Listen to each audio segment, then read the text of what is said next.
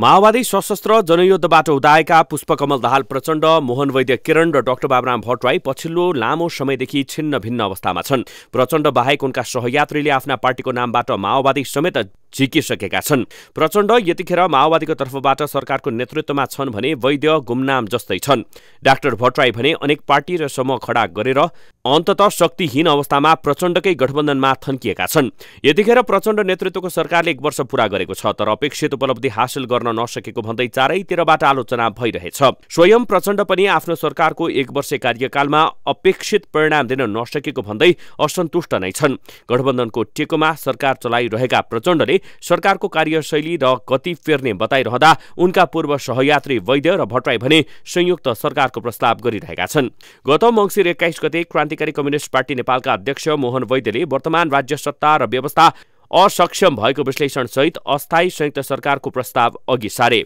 आफ्नो पार्टीको तत्कालीन राजनैतिक कार्यनीति विषयक अन्तर्क्रियामा बोल्दै वैद्यले वर्तमान राज्य सत्ता असफल भएको र मुलुक सङ्कटग्रस्त बन्दै गएको बताए। सुरुदेखि नै संसदीय व्यवस्थाको विरुद्धमा अडिग रहेका वैद्यले वर्तमान संसदीय व्यवस्थाका कारण मुलुकले निकास पाउन नसकेको भन्दै संयुक्त सरकार बनाउनु पर्ने बताए। संयुक्त सरकारले सङ्घर्षका उपलब्धिहरूको रक्षा गर्दै राष्ट्रियता जनतन्त्र र जनजीविकाका विषयमा आधारित तत्कालीन कार्यक्रमको कार्यान्वयन गर्ने र दलाल तथा नोकरसाई पुँजीवाद सामन्तवाद र साम्राज्यवाद विरोधी अन्तर्वस्तुमा आधारित जनसंविधान निर्माणका लागि आधार तयार पार्ने उनको कार्यनीतिमा उल्लेख थियो। वर्तमान संविधान खारेज गरी नयाँ जनसंविधान बनाउनका लागि अस्थायी संयुक्त सरकार गठन गर्नुपर्ने वैद्यको प्रस्ताव थियो। तर वर्तमान सत्ता गठबन्धनमा आबद्ध नेपाली कङ्ग्रेस माओवादी एकीकृत समाजवादी लगायत दलहरू वर्तमान संविधानकै व्यवस्थालाई कार्यान्वयनमा जोड दिइरहेका छन्। उनीहरूले वैद्यको अस्थायी संयुक्त सरकार र त्यसका कार्यनीति स्वीकार्ने गर्ने पक्षमा छैनन्। बरु वर्तमान संविधानका व्यवस्था संघीयता गणतन्त्र र धर्मनिरपेक्षता उल्टिने खतरा बढेको भन्दै यिनको रक्षा र कार्यान्वयनमा जोड दिनुपर्ने उनीहरूको निष्कर्ष छ। प्रमुख प्रतिपक्षी नेकपा एमाले पनि सत्ता गठबन्धनसँग असन्तुष्ट देखिए पनि वर्तमान संविधान र त्यसका व्यवस्थाको विकल्पमा जान तयार देखिँदैनन्। राजावादी शक्तिहरू सल्बलाइरहेको अवस्थामा एमाले सहितको सत्तारूढ दलहरू भने वर्तमान संविधानका उपलब्धिको रक्षामा एकजुट देखिन्छन्। यस्तो बेला वैद्यको संयुक्त सरकारको प्रस्तावले कसरी काम गर्ला? सत्ता गठबन्धनमै आबद्ध नेपाल समाजवादी पार्टीका अध्यक्ष डाक्टर बाबुराम भट्टराईले पनि प्रमुख राजनैतिक दलहरू सम्मिलित संयुक्त सरकार बनाउने प्रस्ताव ल्याएका छन्। पूर्व प्रधानमन्त्री समेत रहेका भट्टराई सोमबार सरकारको स्थिरताका लागि संयुक्त सरकार बनाउने प्रस्ताव अघि सारेका हुन्।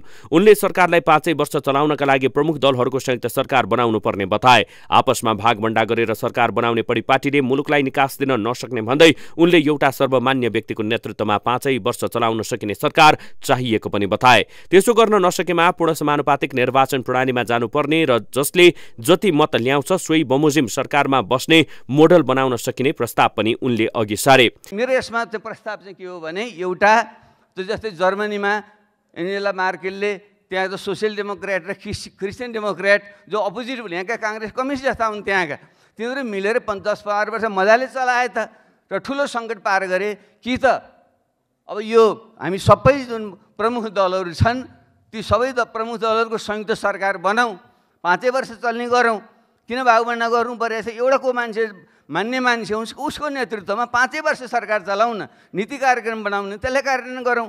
एउटा जर्मनी जस्तो एउटा यस्तो मोडल हुनसक्छ।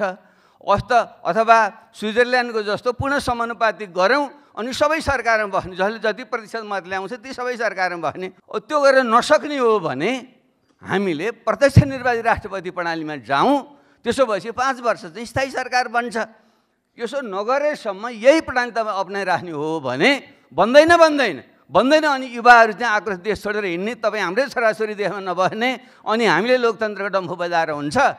डाक्टर भट्टराई र वैद्यको संयुक्त सरकारका उद्देश्यमा भने एकरूपता पाइँदैन। तैपनि उनीहरूले भने जस्तै सबै दल सम्मिलित संयुक्त सरकार अहिलेको अवस्थामा कतिको सम्भव होला?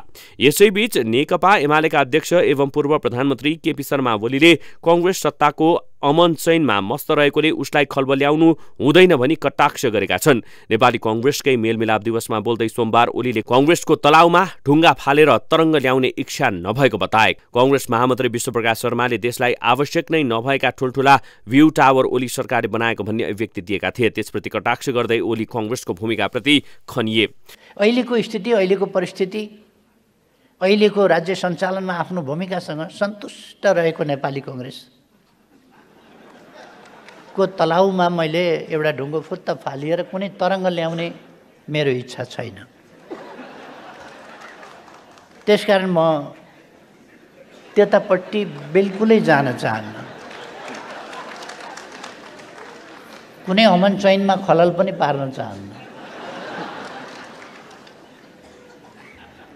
त्यस सीमाभित्र मात्रै म बोल्छु।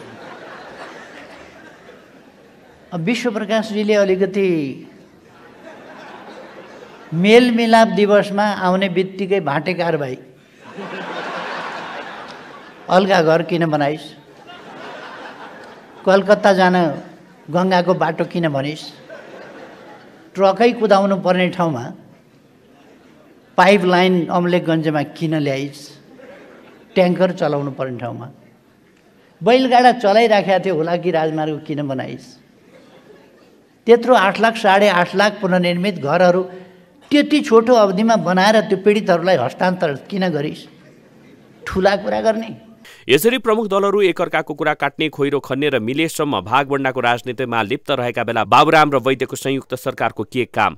सुन्दा आदर्श लागे पनि संयुक्त सरकार बनाएर दलहरूले देशलाई निकास र विकास दिन्छन् भनी पत्याउने आधार छैन। वर्तमान कङ्ग्रेस माओवादीको सत्ता गठबन्धन विरुद्ध एमालेको छटपटी उस्तै छ। एकले अर्काको अस्तित्व नै स्वीकार्न नसक्ने अवस्थामा संयुक्त सरकारमा उनीहरू मिलेर बस्लान् भनी कल्पनासम्म गर्न सकिन्न। बरु उनीहरू अर्को चुनावमा कसरी आफ्नो मतपरिणाम बनाउने र फेरि एकलौटी सत्ता चलाउने भन्ने ध्याउनमा केन्द्रित देखिन्छन्।